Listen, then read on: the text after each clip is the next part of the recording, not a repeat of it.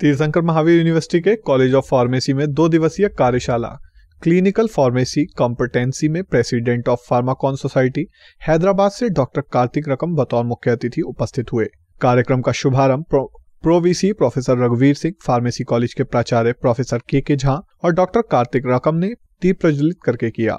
कार्यक्रम की शुरुआत में प्रोवीसी ने अतिथि के रूप में आए डॉक्टर कार्तिक रमन को बुके देकर उनको सम्मानित किया और वहाँ उपस्थित छात्र छात्राओं को फार्मेसी प्रैक्टिस में दक्षता की अनिवार्यता पर ज़ोर डालते हुए इस विषय पर प्रयोगात्मक कार्य करने को कहा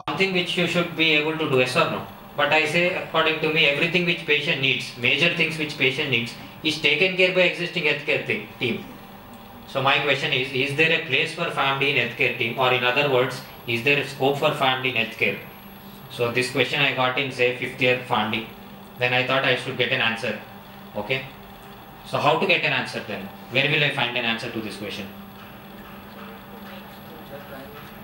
hmm?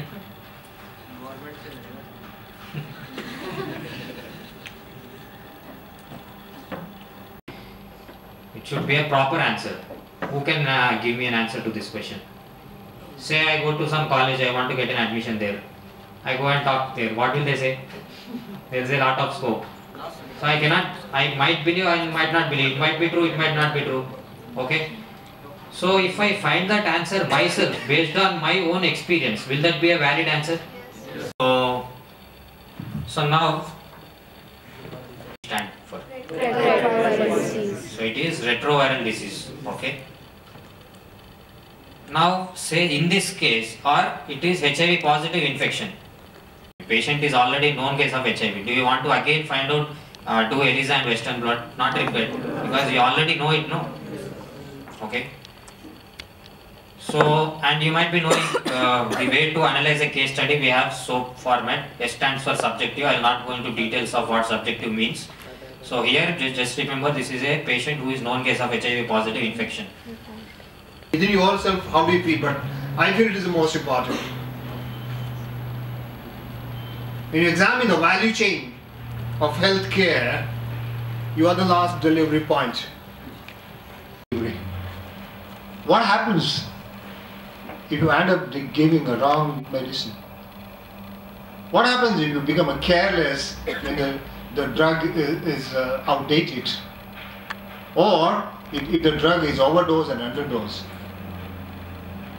So, unfortunately, in any you know value chain, we don't give importance to every aspect of it.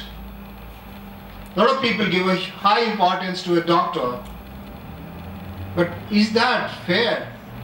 He has a one particular role to diagnose and prescribe. You hear from a professor, can you go back and think of its application?